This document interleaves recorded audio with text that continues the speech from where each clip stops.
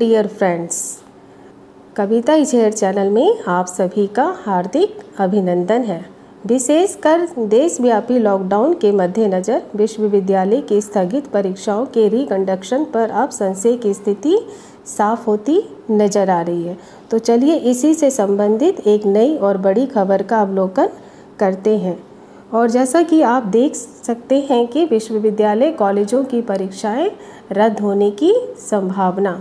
देश में कोरोना महामारी को देखते हुए अब जुलाई में होने वाली विश्वविद्यालयों एवं कॉलेजों की परीक्षाएँ रद्द किए जाने की संभावना है।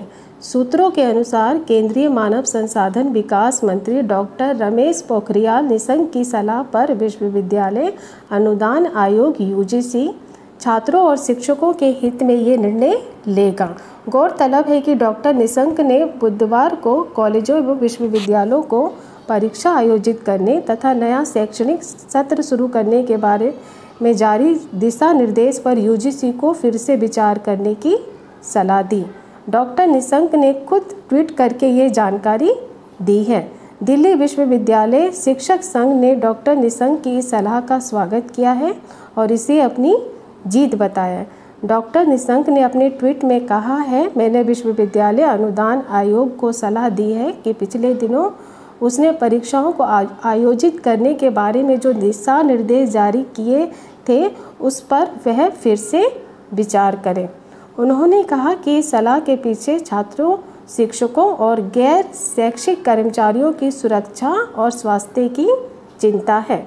गौरतलब है कि पिछले दिनों यूजीसी ने एक दिशा निर्देश जारी कर विश्वविद्यालयों और कॉलेजों को अंतिम सेमेस्टर की ऑनलाइन परीक्षा आयोजित करने तथा संस्थानों को एक नए सत्र में खोलने और दाखिला लेने आदि के बारे में एक निर्देश जारी किया था। लेकिन शिक्षकों, छात्रों और अभिभावकों ने इसका तीखा विरोध किया था और कहा था कि कोरोना के कारण वे परीक्षा देने की स्थिति में नहीं हैं। अगर यूजीसी इस सलाह को मान लेती है तो परीक्षाएँ नहीं होगी। अंत में आपसे ये एक विनम्र निवेदन ये है कि इस खबर की व्यवहारिक पुष्टि के लिए न्यूज़पेपर्स का अवलोकन अवश्य करें और आखिरी में इस इस वीडियो को लाइक करें और शेयर करें और सभी प्रकार की एजुकेशनल अपडेट्स के लिए मेरे चैनल को सब्सक्राइब भी अवश्य करें करें और हाँ न्यू नोटिफिकेशंस के लिए बेल आइकन को प्रेस करना ना भूलें। तो चलिए फिर से मिलते हैं एक नए अपडेट के साथ। तब तक ओके बाय